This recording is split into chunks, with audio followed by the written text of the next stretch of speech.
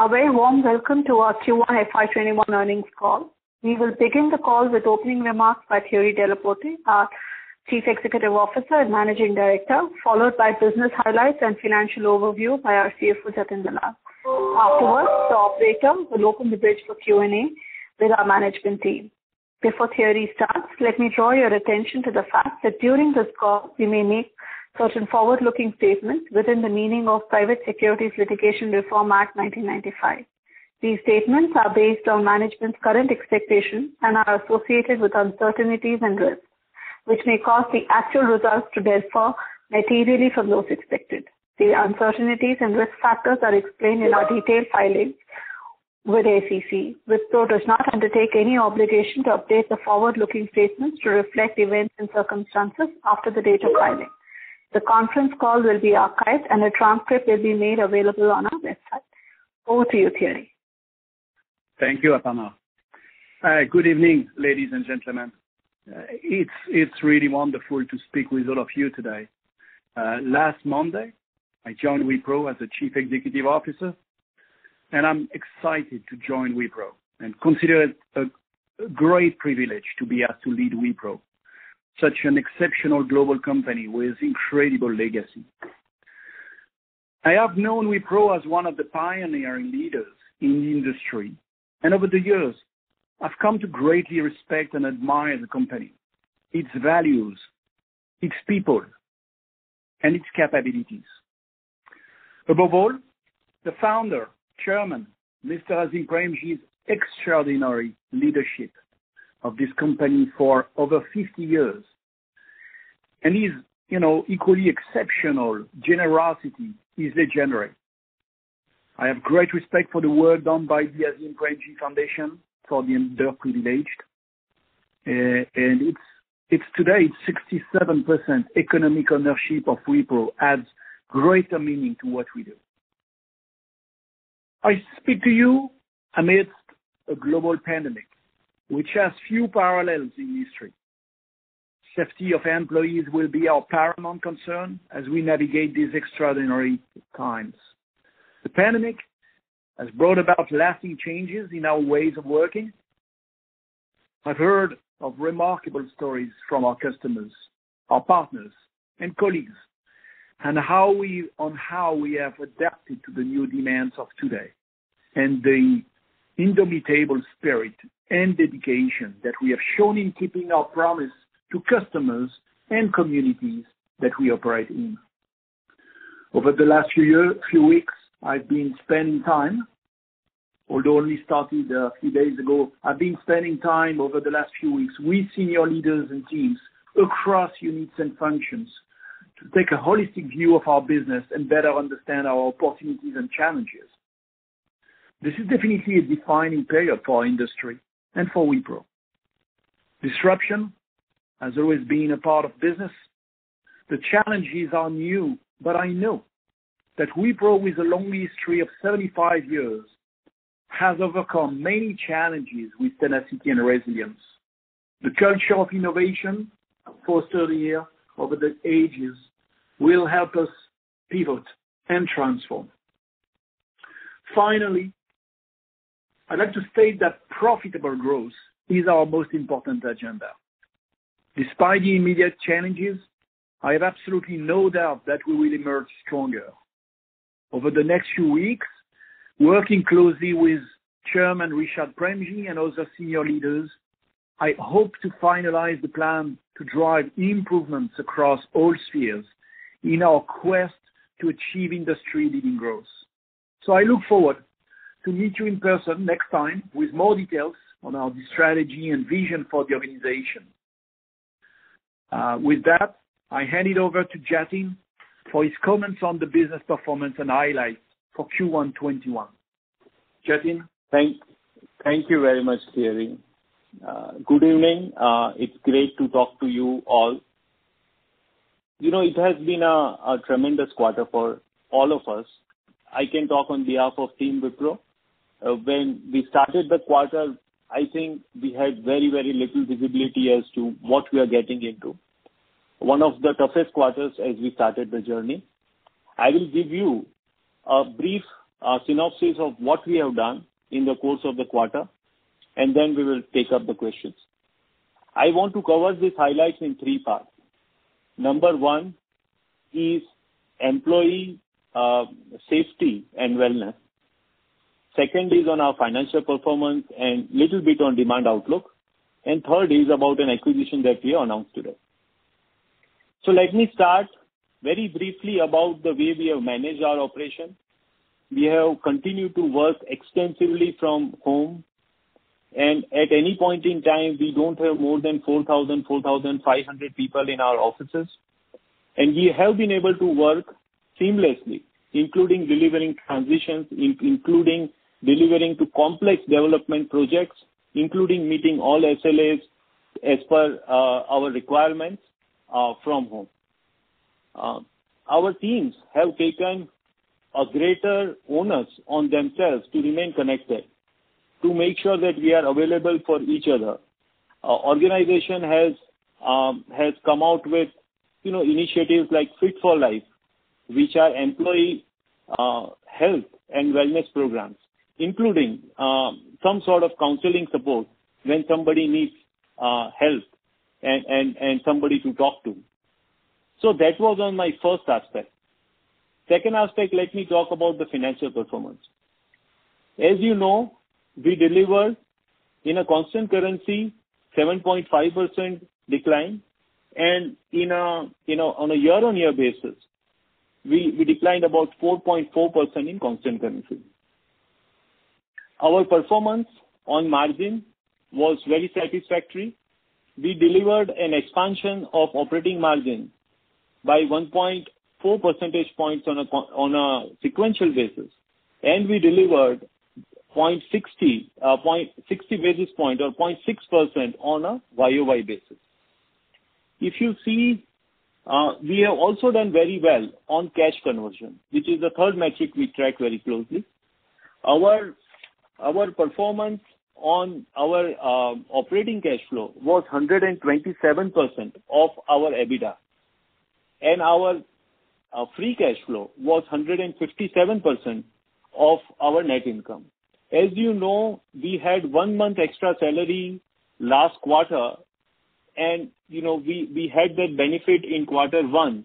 But even if I take that away, I think the teams have done remarkable job to remain very cost-conscious and cash-conscious in a tough quarter. I will go a little down in the P&L. Uh, you know, we have uh, uh, a slight expansion of other income, which was led by the larger corpus that we have of cash, and we have about $4 billion of cash compared to $3.4 billion that we had last quarter, net of debt on our balance sheet. Our ETR was slightly higher at 22.1%. Our net income was year-on-year uh, flat, and our EPS growth, because we had had um, a buyback, as you know, in September last uh, last year, our EPS growth was 5.7% year-on-year. Overall, we are quite happy with the way we came together and executed the quarter. Now let me talk a little bit about the demand environment. Demand environment is driven by what we call as three Cs. The first is cloud, second is collaboration, and third is cyber. We are also seeing great uptick in offerings like VDI, SD-WAN, excellent traction for for our digital operations and platforms offerings uh, in this post-COVID era. From from our sector standpoint, while we have had a tough quarter one, probably across all sectors, but specifically, we are seeing some stability returning in our consumer business unit, uh, in our tech business unit, and uh, uh, in our communication business unit. For others, we will we will watch it closely as to how how the traction unfolds during the course of Uh, quarter two. Overall, from our perspective, we started the quarter with with a certain trajectory, but we we executed well on many fronts, including on revenue front, to be able to come at the end where we came.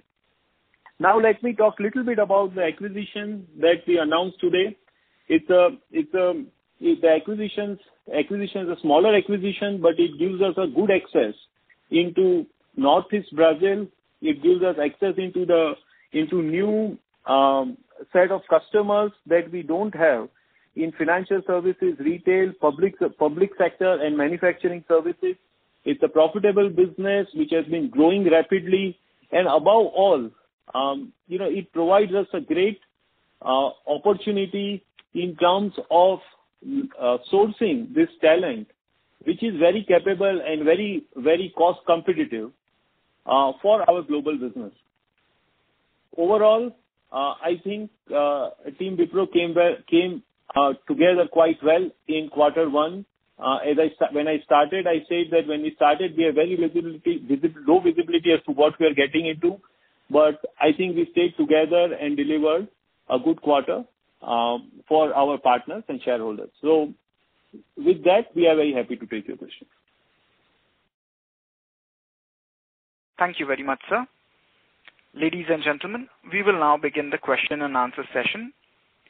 Anyone who wishes to ask a question may press star and one on their touchtone telephone. If you wish to remove yourself from the question queue, you may press star and two.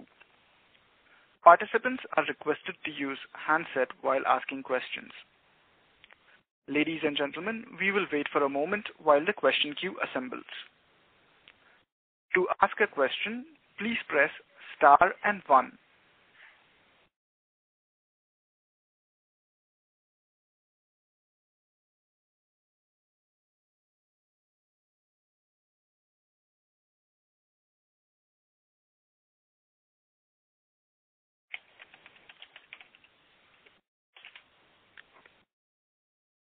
The first question is from the line of Sudheer Guntupalli from Motilal Oswal Financial Services. Please go ahead.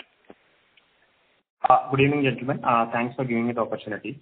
Margin performance during the quarter, especially at gross margin level, was uh, very impressive. In fact, it was better than even pre-COVID quarters. So what is your thought process on the sustainability of this cost structure or margin level?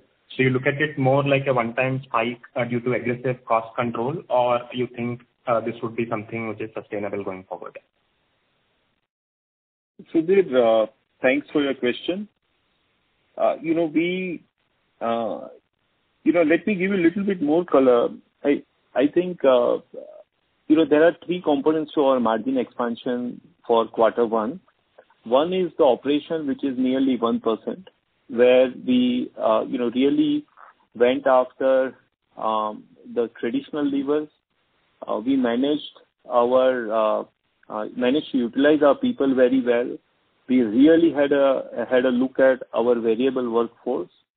Um, we looked at, you know you have seen utilization improving, you have seen offshore rate improving.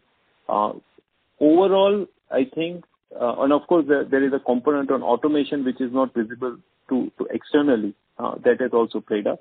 So overall, I think we we did a very good job in terms of managing our workforce to our requirement uh, in an environment where revenue was highly uncertain. So that was one one component. Uh, second is we, of course, kept a very tight watch of every incremental spend that we had to do. We also looked at existing spend and whether they were giving us the Uh, uh, bang for the buck as they were giving us in pre-COVID times. And if they were not, then we have really looked at them whether those spends should continue. Uh, so that was roughly 1%. Another 1% is has been Forex. And we had taken we have taken a slightly larger provision for doubtful debt, which is more called as expected credit loss, which is driven by environment and not by a specific situation or specific uh, customer or uh, or or any any specificity for that matter, uh, which is about 0.5. So That is about 1.4% you know, sequential expansion that we have done. And as you can see, I think we have done well on operations. Um, and therefore, we believe that we should be able to keep our operating margin in a narrow band in quarter two also. Having said that, as Thierry articulated in his opening remarks, you know, our our focus remains growth as an organization, profitable growth that we want to go after. And therefore, if we need to make investments, we will make those investments, and that will always be our first priority. Um and subject to that, yes, we will try and keep it in line. Thanks, Jatin, uh, for that. And in healthcare vertical, uh, some of the large companies had actually reported very strong growth in this vertical, uh, led by work related to contact tracing applications, et cetera. However, we did not seem to have gotten a similar benefit. Is this due to difference in our service offerings in the healthcare vertical? Uh and broadly, your thoughts on vertical-wise outlook across other verticals also will be very helpful. Yes. So I will start with Uh, the second part of your question, and I would uh, request Bill to take the first part. Bill Stith is our Global Head of Health BU. Uh, we have shared that we do believe that we are seeing more stability in CBU technology and communication in terms of the where it can be in quarter two. Other BUs, we also see overall stability, but other BUs, we will wait and watch uh, how the environment uh, sort of progresses. So that's the sort of commentary on other BUs, and I will now request Bill to uh, to respond on health. Yes. Thank you. Um, first of all, let me just remind that you know Q4 for us is a high volume seasonal business, with, um, especially in our payer segment for open enrollment. Um, we typically expect a little bit of pressure coming into Q1. Obviously, that was um, expanded due to COVID, where we saw mostly volumes uh, dropping due to um, patients pushing out their elective treatments, which also translated into uh, furloughs uh, in our payer provider segment. Medical device and life sciences will also impacted on volumes based on uh based on inbound calls associated with the same procedures. Um, I would say that our pipeline is strong. Um, we won uh, new deals uh, both in existing and new logos. Um, and uh, and we further expanded enabling our clients, especially in VDI and cloud, as mentioned. We do uh um we do we saw a lot of demand for delivery in our nearshore locations of the Philippines. We are watching elections. Obviously, as you know, that could have an impact, especially in our um, ACA uh, exchanges in the U.S. Sure. Thanks, and all the best. Sure. Thank you very much. The next question is from the line of Kawaljeet Saluja from Kotak. Please go ahead.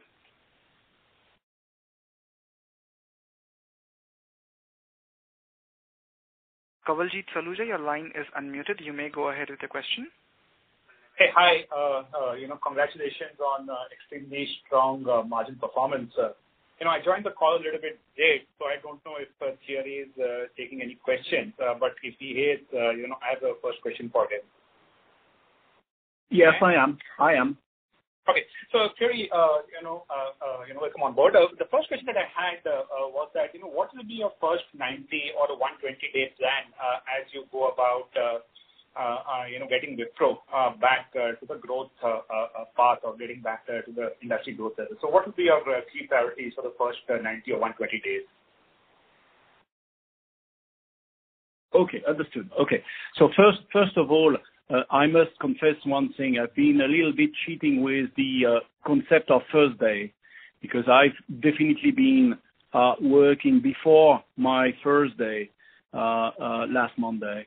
And so I've dedicated the last three, four weeks, four, five weeks actually, connecting with you know, the leadership team, connecting with our Chairman, Rishad Connecting with the board members and so on. So, you know, I've already had a good time to really get a flavor for um, the business, the clients, um, you know, our employees, better understand the power and the strengths of our culture, of our values, and so on. Having said that, obviously, uh, uh, you know, uh, starting now, looking at the priorities for, as you say, the first 90 or 100 days, You know, I look at it in uh, different uh, buckets. On the first one, which is the operations. I'm someone who likes to jump and dive into the trenches day one. And so it's literally starting to engage with you know, our leaders um, in the operations every day and really be active on Uh, the day-to-day operations.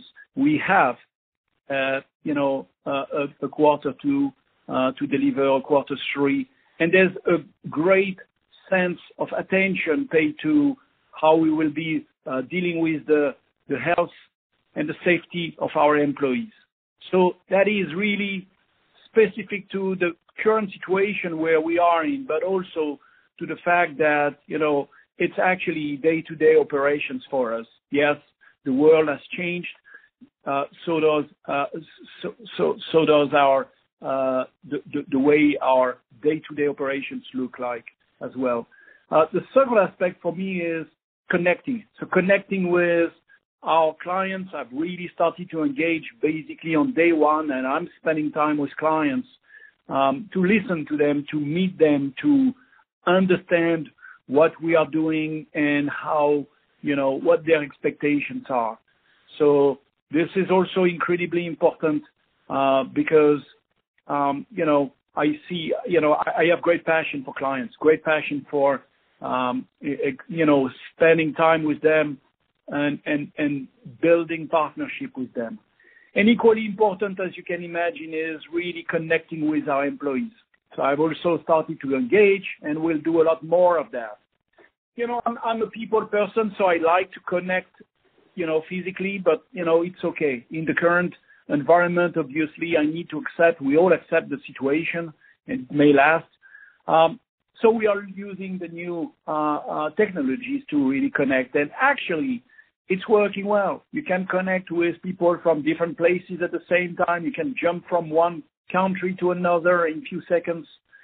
And I've been connecting and will connect more with uh, different parts, different groups, you know, senior leadership, young um, professionals, um, uh, women at Wipro, best talents, and so on. And so on.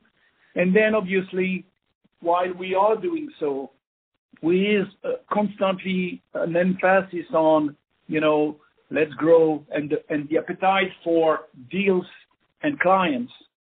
I will work on you know, the bigger plan uh, to redefine or to confirm our strategy, our vision, our ambition for for the years to come, and where I can potentially contribute to accelerate the growth, to uh, build a cohesive team and continue to grow top talent, to constantly challenge status quo inside the organization and see where we can be more nimble, more efficient, more productive, have less time uh, internal, more time for our clients and for our employees. And finally, how we can streamline our processes and so on. So to respond rapidly to your question now, I would say it's going to be a good balance between the need to dive into the operations uh, you know, and protect the safety and security of our people, and at the same time, work on a bigger plan. I don't want to jump on conclusions now, it's only day seven, but work on a bigger plan that I will come and share with you at some point in time. Right. Uh, Just a follow-on uh, question, uh, Thierry. On a slightly different note, while it's early days, uh, you know, what do you think uh, uh, Wipro could have done better? Now, of course, it's only seven days for you at oh. Wipro, but you have come across Wipro as a competitor while you were at Cap. So, what are your broad early thoughts you can share that we can- I can tell you one thing. This is exactly what I will not do, jump at conclusions and compare with Capgemini. I I don't want to do that at all because I don't think it's right after seven days, and I don't think it leads to anything. I think I still need to learn and listen and and observe and and and better and get a better feel. There will be a point in time I will start to draw conclusions. What is clear is that you know, uh the the the values of Wipro are completely unique. The sense of purpose of Wipro is completely unique. Um this is a global company. As you said, I've known Wipro for you know for 20 years. I've been competing with Wipro uh, for 20 years, won sometimes, lost sometimes, but truly formidable competitor. And you know what what I would say after seven days is, yes, it's a global company with an even bigger heart than what I thought before. Uh, the energy in the system, the passion of the employees for the company, uh, the love they have of Wipro is, uh, for me, outstanding, and I want to build on that in in the in the years to come. That's very well put. Thank you. I'm just being a little bit selfish, and I'll ask just one more question to Jatin, so please don't mind. Uh you know uh Jatin, just a question on the margin. I'm still trying to understand uh you know what drove the margin improvement, given that your employee headcount decline was barely 1%, your utilization went up. So effectively, your volumes were flat, yet the revenues declined by 7%. So with a 7% realization decline, I'm still trying to reconcile as to how you were able to manage profitability. Second is that, I also saw that uh, the employee cost on dollar basis declined by 9% on a quarter-on-quarter basis, which means that you have leveraged the uh, variable compensation uh, levers quite aggressively. So I just wanted your thoughts on a couple of these aspects. Yeah, sure. I will speak about the first, and I will also invite Saurabh to talk about the second one. Kawaljeet, uh, there are there are parts of uh, of that walk which are unfortunately not visible externally. Uh, as I mentioned in my opening remarks, we have looked at very aggressively the variable workforce of Wipro beginning from day one of the quarter. So we were able to leverage a lot of internal talent that that actually was utilized. That is number one, instead of a variable talent. Second is uh, that in in some form, you know, utilization is also a factor of leave loss, and leave loss, have, as you can imagine, has been relatively lower for the quarter. And uh, uh, of course, that also plays into revenue, but that is one of the things which has kept utilization to come out even better than what it was in quarter four. And your third point on realization, I I would say that the entire 7% drop is definitely not the realization drop. Uh, there is a part which is realization, and there is certainly a part which is volumes. And as uh, you would also appreciate that in a time like this, uh, no company will have zero volume decline. So we also have had a share of our volume decline, and there is a, there is a part which is also realization. I want to talk uh, a little bit on realization also. Realization typically has a few components. As you know that uh, one direct component could be price discount. The second, uh, but I will come on onto it at the end. But in a business which is run at 60% plus fixed price project, projects, there are impact Um, on uh, realization because of the element-based contracts that we have uh, in our infrastructure business, where we are paid based on the elements that we are able to service. And you would appreciate that when elements go down, when, for example, a large manufacturing firm is not operating its plant, there there would be a dip in the elements which are serviced by Wipro.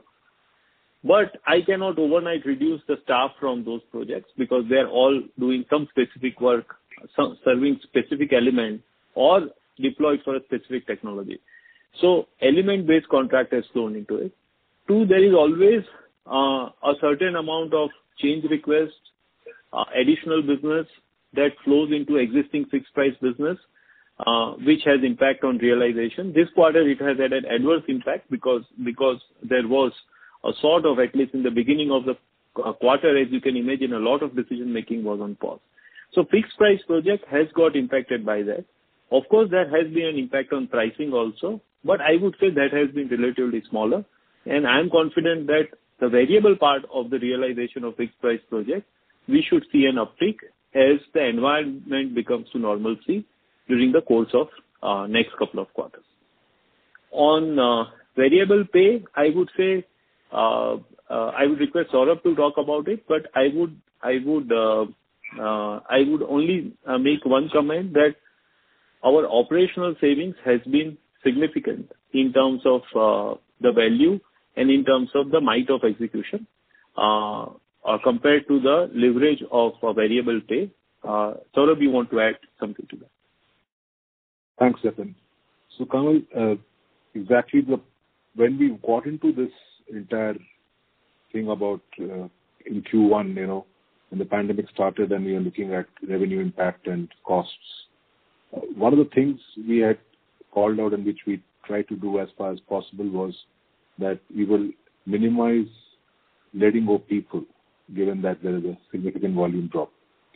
Uh, however, and that collectively the might of Wipro should come together in this time.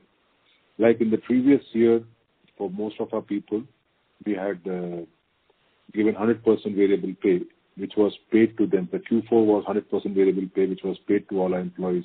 In the middle of uh, this entire pandemic in the month of May, uh, the leadership took a bigger cut, but majority of the people have got reasonable variable pay. So as Jatin said, it has been a superior execution across all cost parameters rather than looking at one specific area. Okay. Thank you so much, and uh, wish you the best. Thank you very much. The next question is from the line of Rishit Parikh from Nomura. Please go ahead. Uh, hi. Thanks for taking my question, and Thierry, welcome on board. Uh, just, uh if I if you look at the outlook for some of the peers, they started to talk about sequential improvement in 2Q, right? Uh, wanted to understand what are we seeing from a demand perspective, and when do we see recovery coming through? Uh, that's one. And on the deal discussion side, how the traction is improving across clients, uh, and if you can just give a little more color on what you expect, that'd be helpful. Thank you.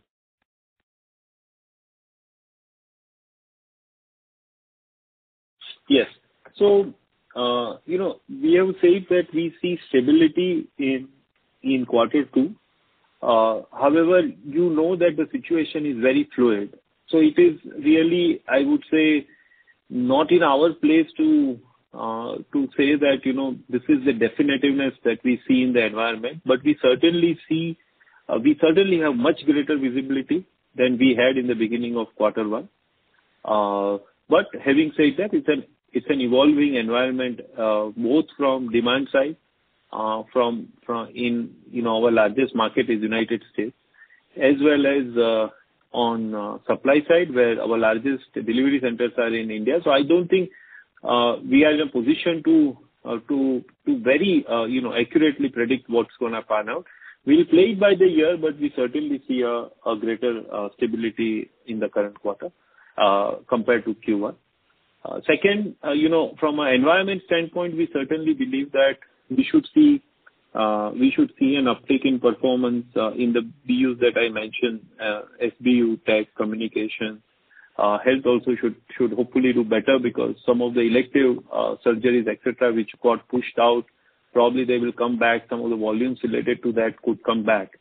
Uh and rest, we'll will play it by the year in in the course of quarter two, Rishit. Okay. And just one last question from a BFSI standpoint. The weakness seems to be slightly more, uh, but our presence is fairly decent, right, in that space. So just wanted to understand what you're seeing from a BFSI perspective, uh, because some of the competition is starting to see improvement in that portion, at least from the 2Q onwards. Yeah. Uh, Rishit, this is Angan. Can you hear me? Yeah. Yeah. Okay. Rishit, uh, this is Angan, and I lead uh, financial services globally. So let me give you a little bit of a color from a BFSI standpoint.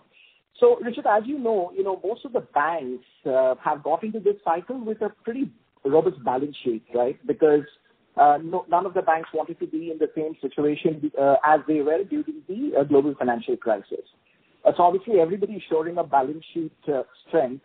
Uh, and what that has done is uh, that has uh, you know, made the banks spend a lot lower than what they were spending earlier. Uh that so that is one. There are two big uncertainties, specifically with the unemployment at the rate it is, and U.S., like Jatin mentioned, being our biggest market.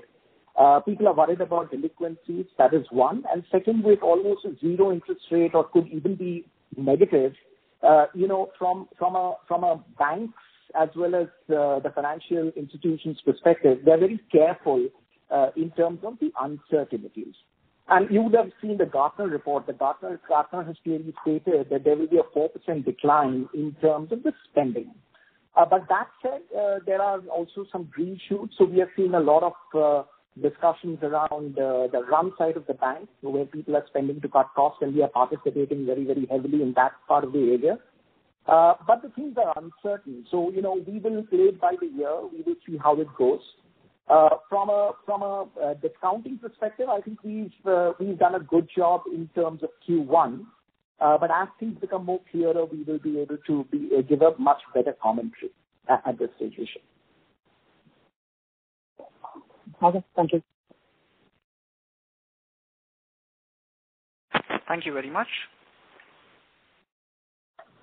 The next question is from the line of Sandeep Shah from CIMB. Please go ahead. Yeah. Uh, thanks very much. Both Thierry. Uh, my first question is uh, to Thierry. Just to understand, as you have said in your speech as well as in the press release, that your agenda is on profitable growth. And you will also agree that Wipro has been lagging the industry growth rate, while peers who have faced the similar situations have actually, in an initial strategy, has compromised the margin to get the growth turnaround as a whole, while one of the peers wanted to do both hand in hand and was not able to do it successfully. So do you believe a profitable growth and a growth turnaround uh, going hand in hand could be like a catch-22 situation and maybe a difficult task where you have to first compromise a bit of a margin to get the growth turnaround? So your plan and strategy around the same. Okay. So so yeah, it's a very fair question. Uh you know, in my answer, I'll be a little bit academic because I think that, you know, uh as you can imagine, with the seven days under my belt, this kind of answers require you know, specific to the situation of every business. But let's be clear on my priorities. I have the, I will drive an obsession for growth in the organization. Obsession for growth, for growing our top line everywhere. But I I mention profitable growth because I don't believe that you can negotiate one for the other. There's a possibility that maybe one quarter or two, you know, you get more of one and less of the other. This you know, can always happen, but on a long term, you need to drive both growth and profitability. And we can do it. Uh, uh, we can do it. Um, growth, it starts with growth. That's also one important point. You know, you you can uh, drive profitability through cost reduction quarter after quarter, but it's very difficult to drive growth uh, if you're not investing, and hence your your point on catch-22. Uh, it starts with growth. Okay? My view is that to drive growth, it's going to be about certainly high energy, absolute focus on that. Um, Ready to focus the investments to uh, the accounts that matter to us, to the you know, leveraging the offerings where we have strengths and the industries and the position we have in our industry. Uh, it will take to take some bets, and we will take some bets, and we will be bold in uh, going after these bets. But the focus will be on growth, not to the expense of profit. Okay. Okay, fair enough. Thanks. And the second question to Jatin, uh, just about the margin savings which you have done. Uh, this is also helped by work from home and the lockdown. But as the growth comes back, uh, what percentage of savings which you have achieved in 1Q and may be possible because of a full quarter impact in 2Q, Uh, would you retain uh, when the growth comes back uh, in a normal situation, once the lockdown situation is much more normal versus where it is right now? Yes. So so certainly there are certain expenses which will come back. Like for example, we are at a historically low value of travel, as you can see in our financials. And that would come back as as you you climb back on activity. Uh, at the same time, there would be certain expenses that we have had benefit for, for let's say, half the quarter or one-third of the quarter in quarter one that will give its full benefit uh, in quarter two. So There are some positive levers also there. Um the expenses that will come back with uh, increase in activity, our endeavor would be that are commensurate with the additional opportunities and growth that we are seeing. In some form, you should get a lever from growth on those expenses. But uh but overall, we see that we should be able to focus our energies in second quarter also on what we can do. We remain focused on cost. Uh just uh you know it's not a one-quarter journey. We'll continue to question all incremental spend that that are needed. Uh and we have to be very clear, Sandeep, that you know, we have built a model for a different um, time and place, uh, the operating model that was operating. Uh and if we are not conscious of of looking at every cost item and asking whether in the new world this is also required or not required, then we are not doing justice to that cost. So we will continue to look at uh, you know, areas that we couldn't focus in quarter one, in quarter two also. So I would really put it in three buckets. You know, the cost that will go up, the cost which will give it full benefits, and also the third bucket with the cost that we have not been able to look at in a short term, can we look at it now? Uh so those are the cost plays. And therefore, I made a comment to Sudheer's question that you know, we'll try and keep it in a narrow band. Uh, of course, subject to the investments that we need to make. And I think there we can't compromise. And what we need to to invest for growth, we have announced one acquisition. If we have to do, uh, you know, we have to remain focused on strategic assets that we want to add, that could also be dilutive. So those investments, we will remain very open. Uh, but, cost side, we'll try and look at, continue to remain as close as possible to the to the uh to to line of uh, execution. Okay. Thanks. Thanks, and all the best to the management. Thanks, Sandeep. Thank you very much. The next question is from the line of Abhishek Shindadkar from Elara Capital. Please go ahead.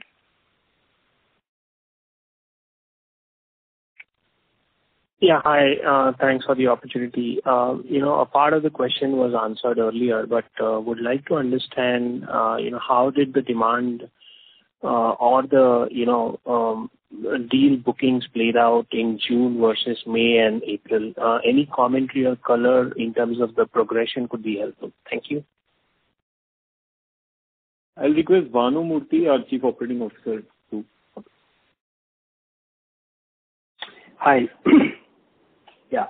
Uh, in terms of the order book, uh, you know, what we have seen is that during the latter half of the quarter, we see the deal momentum pick up.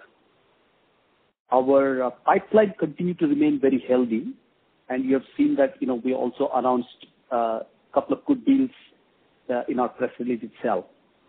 And what we are seeing is that the the velocity of decision-making is still not at the pre-COVID levels. However, our order book remains healthy. It has improved year-on-year, and our pipeline uh, is robust. We're also seeing that in terms of demand, the nature of services that we are seeing, definitely we are seeing a good pipeline for uh, uh, our offerings on cloud, ensuring that our customer employees are able to work from home and remotely. Some of the infrastructure services and our our digital operations and platform services. We're seeing a good momentum in these services along with our engineering and security services as well. So so we do see a good momentum uh, on the order book side, uh, and uh you know our our uh, pipeline looks robust and healthy. Thank you. Just a clarification. You said the book is uh you know has increased year-on-year. If you can also compare it to March or pre-COVID levels, that would be helpful. Thank you for taking my question. Yeah. Uh, you know, like we discussed, we don't we don't disclose the uh, uh, individual size of the order book and the or the TCV levels. But I can tell you that the the order book has improved year-on-year comparatively. Yeah. Thank you. Thank you very much. The next question is from the line of Diviya Nagarajan from UBS. Please go ahead. Um, thanks, and congrats on the strong execution in a tough quarter. Uh, most of my questions have been answered, so I'm just going to ask Thierry uh, a question more on a sector perspective, if I may. Thierry, uh, in your experience on the services space, and specifically in the last few years, the changes that we're seeing in the IT services landscape, what would you think are the key trends that you think are going to accelerate because of what we're seeing in this downturn? Uh, specifically, what is your, what's, what has been your impression of the offshore sector as a whole in the last five years, and how the sector has handled this transformation to digital? Okay, thanks for the question. So, so yeah, the, the, you know, I think we all recognize that the, we are in an industry where the reality of the day is not the reality of the day after. So things are changing rapidly. A couple of trends. Uh, one, we all agree on the fact that technology is more pervasive inside the organization, that every company is investing in technology, and therefore, you know, enabling technology to address business issues. Uh, what we've seen over the years, over the last years is that there is a growing component of of this technology spend that is being done outside, or not say outside, but that is being driven by the business. And it's not only uh, triggered, if you like, by the IT departments. Uh, chief marketing officer are spending in technology, chief you know, sales officer, head of operations, head of manufacturing, uh, head of supply chain. Um, different function leaders are spending in technology. And therefore, it's an evolution. You know, we need to adapt and and, and, obviously be the uh, force of connection inside the companies between the business and the IT. IT is always required, absolutely essential to drive scale and security to all these investments and uh, orchestrate, if you like, those uh, uh, the investment on those technologies. But I think it's clear that you know we have to be prepared to connect with CXOs, uh and very different stakeholders inside companies to engage on uh strategic discussions where technology can play a role. Second, I think, you know it's very clear that um uh you know the company that have not invested enough in their digital transformation over the last years, I felt the pain uh, during uh, the crisis of the last weeks. And there will be an acceleration of their transformation over the next uh, quarters. The level of adoption of cloud in the different markets is going to accelerate tremendously.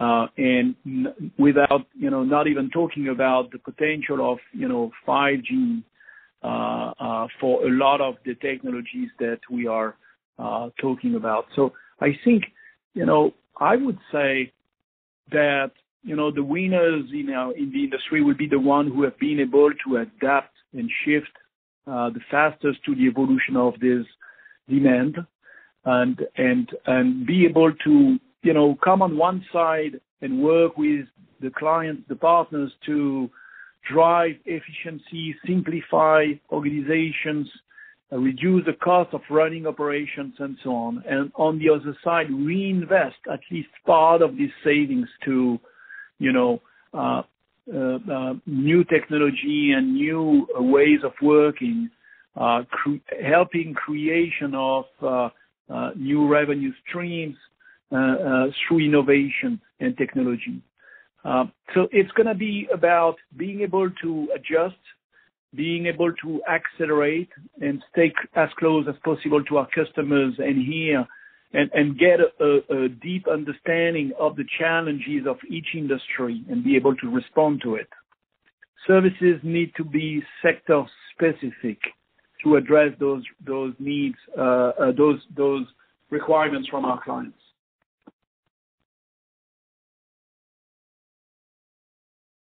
Mm-hmm. Thanks for that. Uh, Jatin, my question to your earlier comment that you have brought down your temporary workforce and replaced it with some of the slack that you had in the system because of this downturn.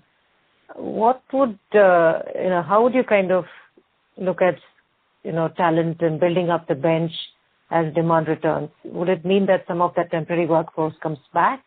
Or do you think that uh, you have enough you know, uh, slack in the system still? Because utilization, as you said, has gone up a bit. So does that mean that you'll have to then increase hiring as demand comes up? How should we think about this equation? So uh, so we have uh, right now sufficient uh, availability of talent in in the company. Having said that, you know, right now, you know, as we always say that we'll hire hire for for revenue. If there's a need to hire externally, we will definitely look at it. But uh, uh, the the action that we took was a was a was a very straightforward, um, I would say, uh, straightforward matter of fact action that when we when we saw the reduction in some of our revenues, some of our own employees became available for work. And if we had a skill set which was available, which we could service our customers, we did not need the cost of the variable workforce. And therefore, we sort of reduced that variable workforce and put our own employees to service those requirements.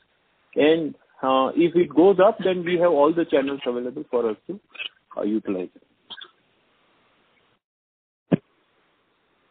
Saurabh, you want to add anything to that? Yeah. Just to add, one is that, in some of the geographies, uh, the developed markets, we have been able to put some employee on furlough, and uh, that's helping from a cost perspective. But uh, our talent available for us, and as and when demand comes, we can quickly get them back without hiring anybody. So it's a win-win for the employee, for the company of not going and hiring people when the demand comes back or you know, gearing ourselves for that. And the other one is also about crowdsourcing and the Top Gear platform and how we utilize that. Uh, that's another advantage. We are seeing a lot of traction on Top Gear.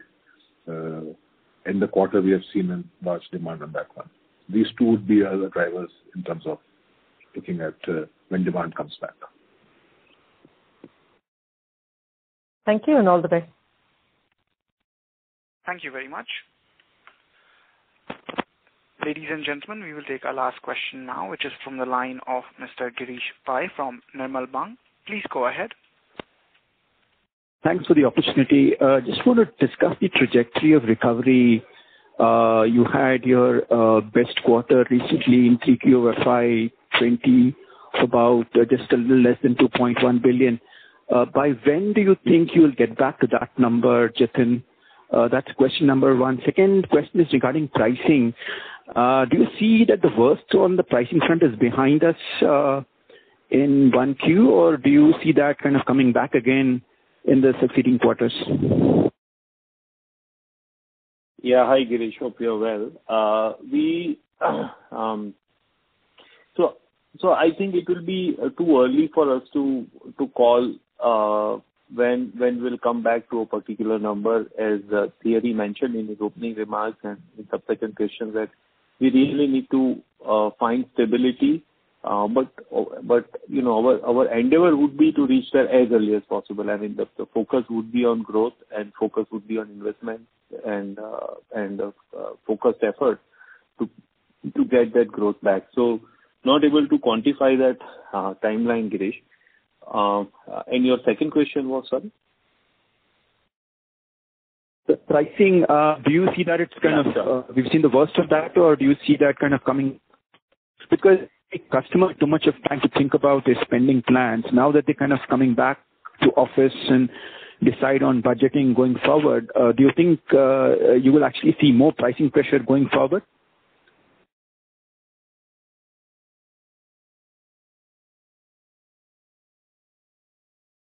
Uh, participants, we are requested to please stay connected. We have lost the line for Mr. Dalal.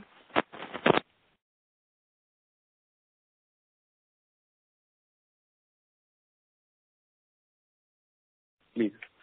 Okay. We have the line now reconnected. Sir, you may proceed. Yeah.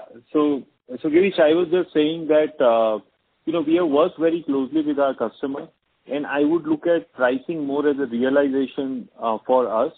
And as I had shared earlier in uh, in our uh, another discussion, that some of the realization which has got impacted uh, should start returning. Yes, pricing will remain a theme in a tough year, but our endeavor has always been to work with our customer to reduce the total cost of ownership for our customer and not necessarily Um, make it a, you know, a win-lose uh, equation, but really work towards a win-win for customer as well as for us. Thank you. Thank you very much. Ladies and gentlemen, that was our last question for today. I now hand the conference over to Ms. Iyer for closing remarks. Over to you, ma'am.